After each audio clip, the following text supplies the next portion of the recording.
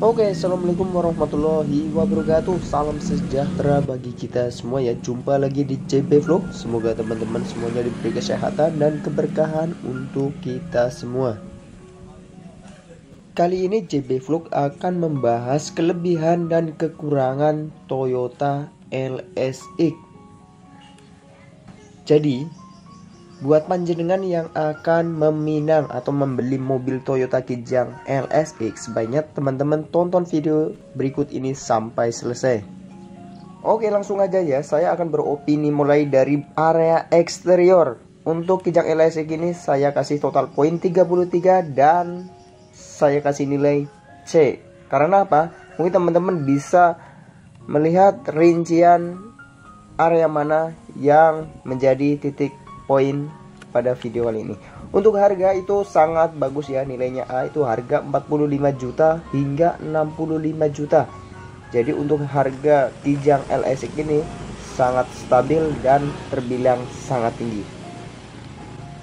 Untuk fog lamp sementara ini belum tersedia di bawah tahun 2000 untuk pelek masih menggunakan ring 14 untuk standarnya untuk mobil ini sudah upgrade menggunakan alloy wheel. Untuk masalah suspensi saya kasih total poin 70 dan nilai C. Karena untuk Kijang LSX ini menggunakan suspensi depan menggunakan double wishbone. Saya kasih nilai 40 dan untuk yang belakang. Pada suspensi bagian belakang menggunakan leaf spring atau per down.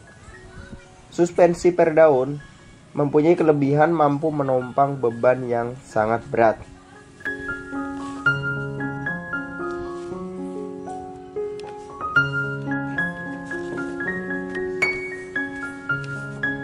Untuk area interior, saya kasih total poin 47 dan nilai C. Untuk bagian door trim masih menggunakan engkol, belum menggunakan power window. Jadi ini adalah salah satu kekurangan dari Toyota LSX.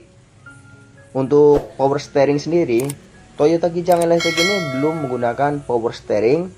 Untuk motor kombi sudah menggunakan RPM. Untuk dashboard ya, untuk instrumen panel itu cukup luas. Untuk kabinnya juga cukup menarik, ada box lock, outlet AC, center, dan asisten maupun driver. Untuk audio juga dilengkapi. Mungkin teman-teman bisa upgrade menggunakan double din.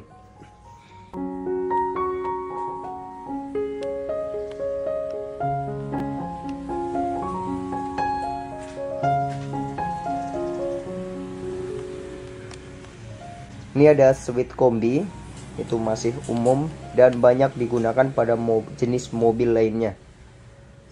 Untuk transmisi ya gigi persenelang itu ada 5 percepatan untuk Kijang LSX ini seri bensin.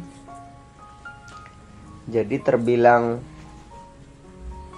tinggi juga ya.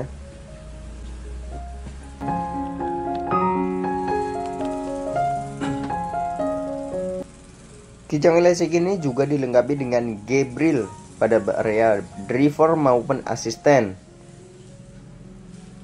selanjutnya ada mirror view sun visor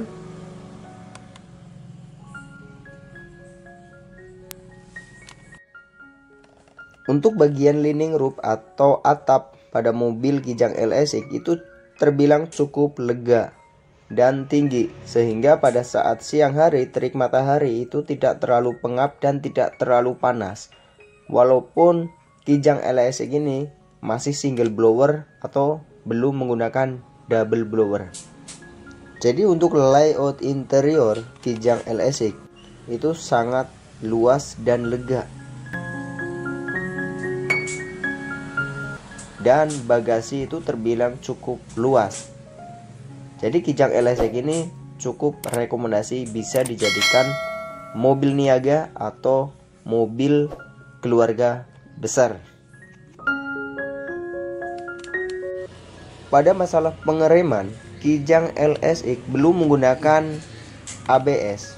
Pada front brake sudah menggunakan disc brake dan rear brake baru menggunakan drum brake dan saya kasih nilai total poin 60 dan nilai cukup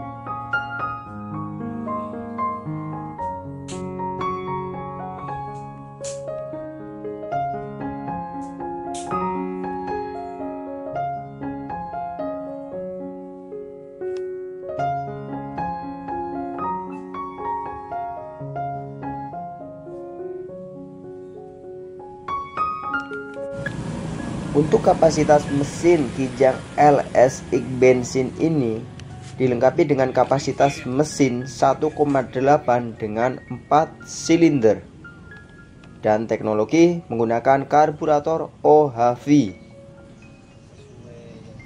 Tenaganya yang dihasilkan mampu menghasilkan 82 PS dan 4000 RPM. Transmisi manual 5 percepatan dan Mesin kijang elektrik mempunyai kelebihan perawatan yang sangat mudah dan gampang. Dan saya kasih nilai lebih untuk mobil kijang elektrik ini terbukti sangat bandel.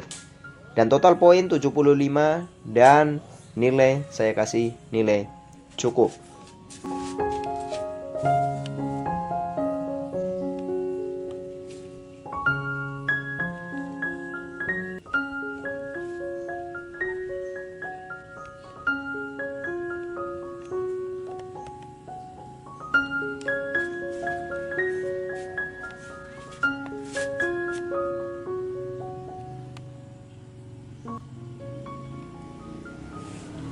Untuk masalah spare part, Kijang LSX ini mempunyai ketersediaan yang sangat melimpah dan sangat mudah ditemukan di mana-mana. Untuk kualitas part terbilang cukup bagus dan harganya sangat terjangkau dan sangat murah. Untuk total poin 95 dan saya kasih nilai A dan nilai tertinggi.